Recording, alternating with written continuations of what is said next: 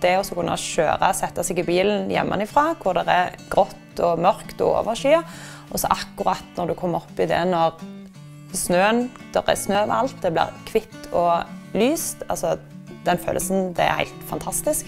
Det er en plass vi får slappe mer av i lag òg. Det er som et fristed for oss, en plass der du kan trekke deg tilbake fra den normale hverdagen. Her er vi sammen. Mye mer, I mye større grad enn hva vi er hjemme. Hyttedrømmen vår starta med å ha vært lenge i Sirdalen. Ti år med campingvogn.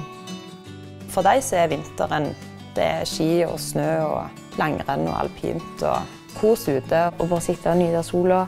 Bare ja, være i lag. Jeg tenker Valg av hytter så gjaldt det å finne en løsning der når ungene er blitt så store som de er nå, så trenger vi å kunne få spredd de litt rundt. Vi syns at Bukkehø som modell passet oss best. Det er utrolig kjekt at det er så høyt under taket.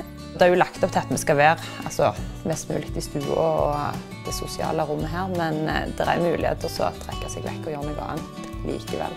Så det er ei hytte som passer seg godt på den måten at det er plass til besøk, men ikke for stort. Vi fikk jo være med å forme.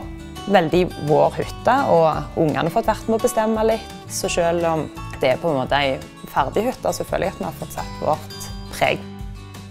Boligpartner har vært veldig behjelpelige. Å komme til det punktet at du er i hytta og bor der, og det er ditt, en veldig god følelse. Vi er kjempefornøyde og veldig stolte. Mm. Mm.